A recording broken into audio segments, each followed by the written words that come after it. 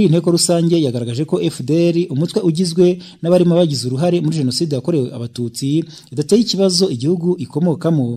Uyu mukuru w'igihugu cya Repubulika ya Demokarasi ya Kongo yasobanuye ko habayeho imishyikirano hagati ya leta y'u Rwanda n'iya Repubulika ya Demokarasi ya Kongo habaho ibikorwa byo kurwanya FDR ndetse abenshi bahoze ari abarwanyi bayo n'imiryango yabo barataha.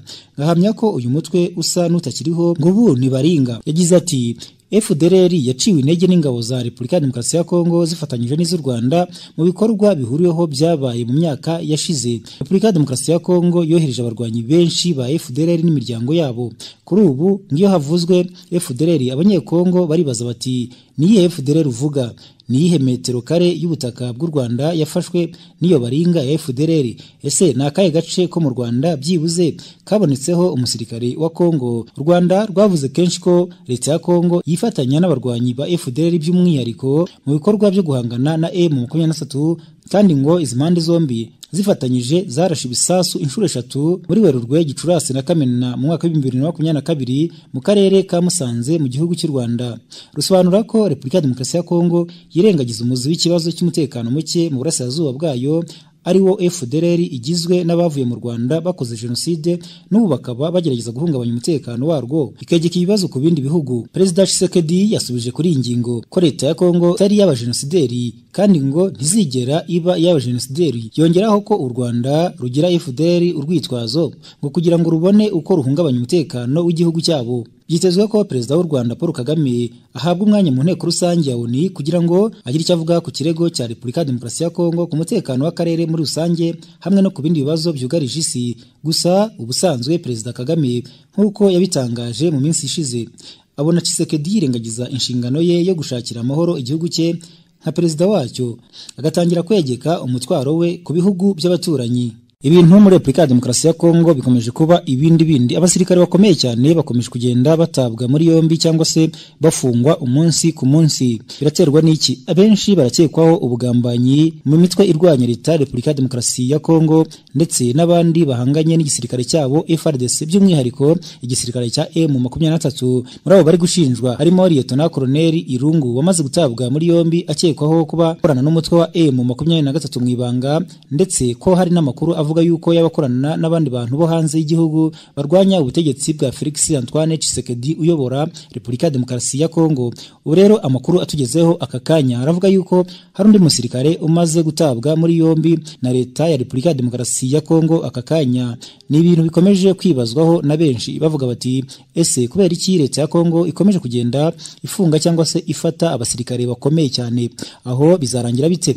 Amakuru ubu aravuga yuko ingabo za FARDC na UPDF zafashe komanda wa ADF ukomoka muri Kenya. Ingabo za FARDC ku bufatanye n'ingabo za Uganda UPDF ziratangaza ko zataye muri yombi komanda w'inyeshyamba za ADF muri teritwari ya Irumu mu ntara ya Ituri mu burasirazuba bwa Repubulika ya Demokarasi ya Kongo aya makuru yatangarijwe urubuga seti.cd itangazwa n'umuvugizi w'ibikorwa bihuriweho bya FARDC UPDF Colonel Mark Hazukayi Colonel Hazukayi yagize ati amakuru dufite ubu ni itabwa muri yombi rya komanda wa ADF ni umunyakenya uvuka muri Mombasa witwa Ibrahimu Mohamedi yafatiwe mu majyepfo y'uburasirazuba bwa Boga muri teritwari ya Irumu. Ari mu gatsiko ka ADF gateza impfu n'imibabaro mu gice cy'amajyepfo y'intara ya Ituri mu nkengero za Boga avuga ku bikorwa bikomeje biri gukorwa n'ihuriro ry'izi ngabo z'ibihugu bibiri. Koloneli Hazukayi yavuze ko hari byinshi bamaze kugeraho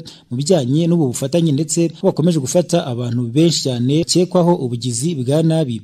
Ati ingabo zirimo gukorera kugarura amahoro yuzuye. Turashima ubufatanye bw'abaturage b'intara za Ituri na Kivu y'Amajyaruguru. Ubufatanye bworoheje kugera kuri urugero. Kuva ubu kugeza mu gitondo runaka ibintu biraza kugenda bihinduka. Iyi nkuru ikaba isoza yibutsa ko ihuriro rya FARDC na UPDF rikora ibikorwa byo kurwanya imitwe yitwaje intwaro irimo ADF nifatanya na yo muri teritwari ya Beni na Irumu kuva mu mezi atatu ashize. Amakuru asohotse ubu ngubu aravuga yuko perezida Kagame na Tshisekedi baganiriye i New York ku buhuza bwa perezida Emmanuel Macron uyobora igihugu cy'Ubufaransa. Amakuru aturuka i New York muri Leta Zunze Ubumwe za Amerika. Aravuga ko perezida Paul Kagame w'u Rwanda na Felix Antoine Tshisekedi Chilombo wa Kongo Kinshasa bagiranye ibiganiro ku buhuza bwa perezida Emmanuel Macron w'Ubufaransa.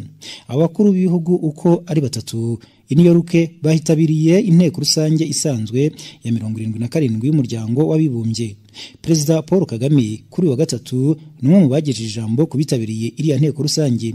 Nyuma ya Tshisekedi nawe wabagejejeho ijambo inkuru y'uko abakuru b'ibihugu byombi bashobora kuganira ku buhuza bwa perezida Emmanuel Macron yamaze kumenyekana uko byanemejwe na perezidanse y'u Rwanda.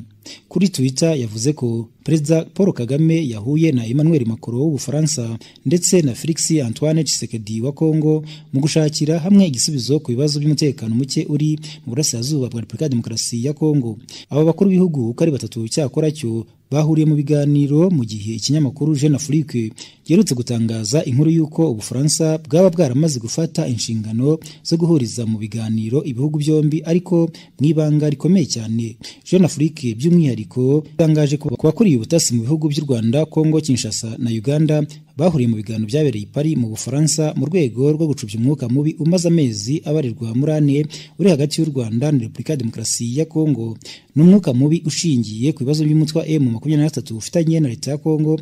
Na leta ya Kongo Kinshasa ishinja u Rwanda kuba ari rwo ruha ubu ari rwo ruwuha ubufasha. Ibyo rutahwemye guhakana rwivuye inyuma. Perezida Felix Antoine Tshisekedi ubwo yagezaga ijambo ku bitabiriye inteko rusange ya Loni yongeye kugaragariza amahanga ko u Rwanda ari rwo nyirabayazana w'ibibazo by'umutekano muke byugarije igihugu cye. Yashinje kandi u Rwanda gutera igihugu cye ndetse rukanigarurira umujyi wa Bunagana wo mu ntara Kivu y'Amajyaruguru agaragaza ko Repubulika ya Demokarasi ya Kongo yagerageje gukora uko ishoboye kose ngibane neza n'abaturanyi bayo gusa igakomwa mu nkokora na bamwe muri bo barimo n'igihugu cy'u Rwanda. Ati usibye imyitwarire yanjye ya kivandimwe ndetse n'akaboko k'abanyekongo mu guharanira amahoro bamwe mu baturanyi bacu nta buryo bundi babona bwo kudushimira. Usibye gutera inkunga imitwe yitwaje intwaro ikorera mu burasirazuba bwa Repubulika ya Demokarasi ya Kongo. Kuri ubu niko bimeze ku Rwanda rwirengagiza amategeko mpuzamahanga n'amasezerano y'umuryango w'abibumbye rwongera kugaba ibitero muri Werurwe ndetse n'ingabo zarwo zinjira muri Repubulika ya Demokarasi ya Kongo.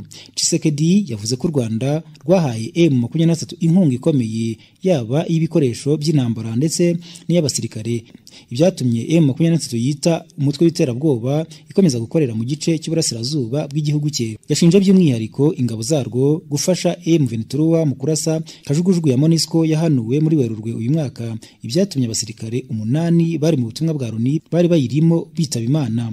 Perezida Kagame mu ijambo rye we yagaragaje ko bene ibi birego bya Kongo atari byo bizakemura ikibazo cy'umutekano muke imaranye imyaka irenga makumyabiri ishize. Yavuze ko hakenewe ubushake bwa politiki bwihuse mu gukemura ikibazo cy'umutekano muke uri mu burasirazuba bwa Kongo Kinshasa no gushaka by'umwihariko umuzi w'impamvu nyamukuru wacyo. Perezida Kagame akavuga ko by'umwihariko